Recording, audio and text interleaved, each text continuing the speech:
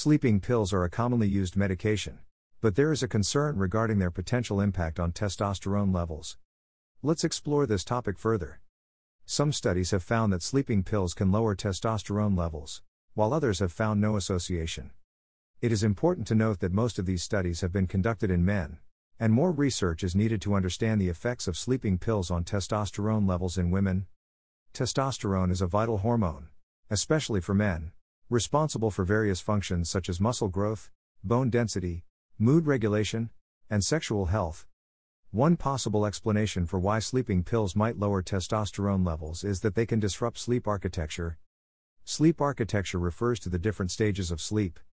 Testosterone is produced during deep sleep, so if sleeping pills disrupt deep sleep, they could also lower testosterone levels.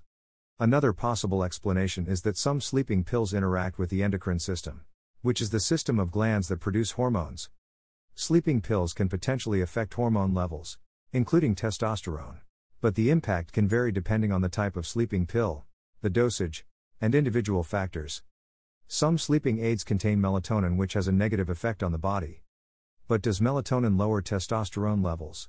Well, considering how frequently it is used in sleep aid pills, the effect of melatonin on testosterone was hard to believe at first. However, the results of a study by Neuroendocrinology Letters in 2001 suggest that melatonin inhibits testosterone secretion by acting at the hypothalamic pituitary axis. Also, Journal of Andrology in 2002 claims melatonin treatment lowered sperm concentration and motility in men.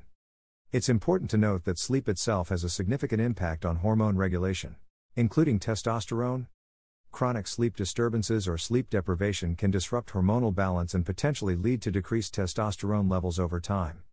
Here are some tips for improving sleep without taking sleeping pills. Establish a regular sleep schedule and stick to it as much as possible, even on weekends. Create a relaxing bedtime routine. Make sure your bedroom is dark, quiet, and cool. Avoid caffeine and alcohol before bed. Get regular exercise, but avoid exercising too close to bedtime. See a doctor if you have chronic insomnia. If you're concerned about your testosterone levels and their relationship to sleep or medication, it's best to consult with a healthcare professional. You can also consider OTC pills only after going through the ingredients list.